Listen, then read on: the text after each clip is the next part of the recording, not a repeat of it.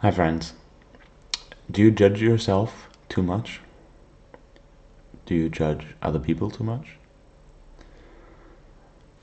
I've noticed in the past year for myself that I feel like I judge too much.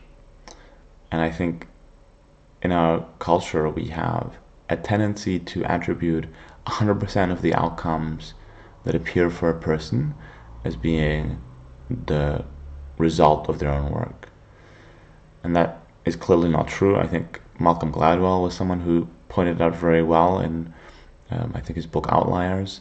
He talks about what makes people reach the top of their fields, and he said there was a lot of luck involved and other things.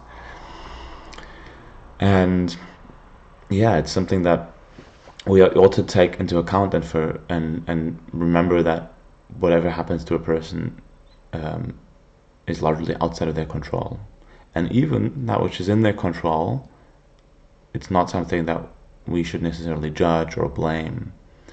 Blame is something that I think is unnecessary, completely unnecessary. You can hold someone responsible for without blaming, but um, yeah, I've just noticed that I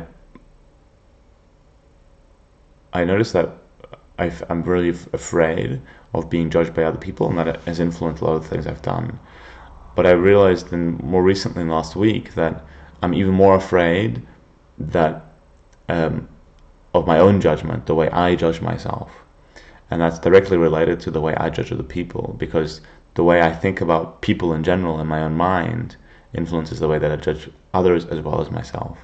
And that has profound implications on how well I can pursue my purpose in life. If I'm judging myself, then I have difficulty being really true to myself um, because I'm coming from a place of fear instead of a place of power and abundance. So having realized that, I think that's enough. Realizing it is is all you really need to get over it. When you realize it, then you notice yourself judging and you stop yourself. Not in a forceful way, but just in like, oh, I don't need to do that, and you can just go. And that's just kind of the experience that I've had. Um, and um, I don't know. We'll see how it goes, but I feel like I've let go of some judgment that was holding me and other people back. And um, when we are, when, well, for me at least, when I'm no longer afraid of my own judgment, I think it allow, allows me to be less afraid of the judgment of other people. And that doesn't mean they won't judge me, but if I don't think it's important, um, then it can't harm me as much. I think it's Mark Twain said, um, those who mind don't matter, and those who matter don't mind.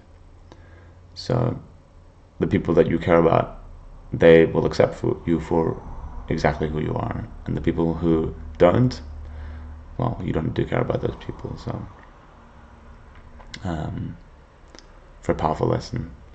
So I'm curious. Um, do you think that you judge yourself too much? That you judge other people too much? That you are afraid of judgment? How does that influence what you choose to do? Share your thoughts. I'll see you tomorrow.